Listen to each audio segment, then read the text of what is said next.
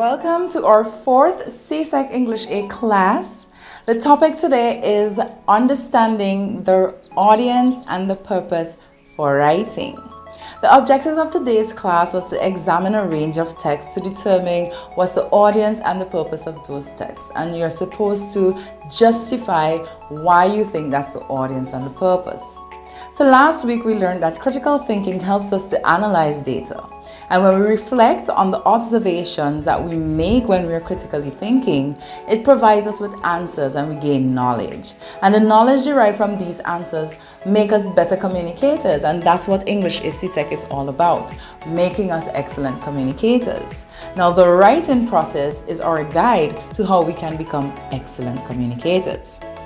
Today we looked at text for clues, where we interrogated the text, we interrogated our CSEC prompts, and we looked at how we can get information about our audience and our purpose or the writer's purpose and what they wanted us, the audience, to gain from their writing.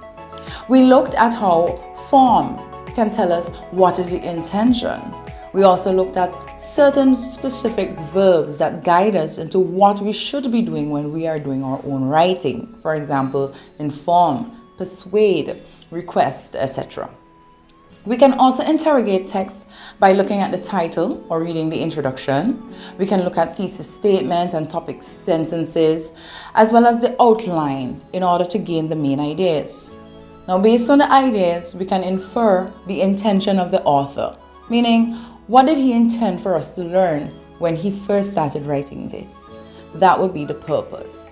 So his purpose will always be towards a targeted demographic, and this target demographic is what we call our audience.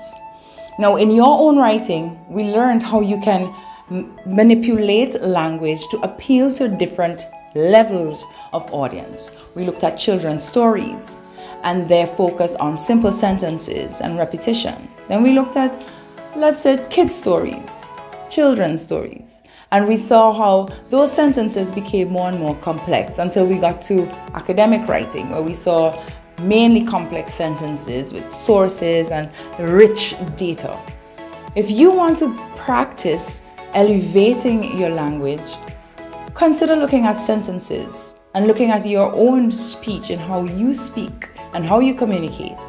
Try not to use as many simple sentences and try to elevate your writing and your discussion to more complex and compound sentences. And this makes you an excellent communicator because it makes your work succinct and flows better. Thank you for joining me, and I'll see you next week. Happy Independence!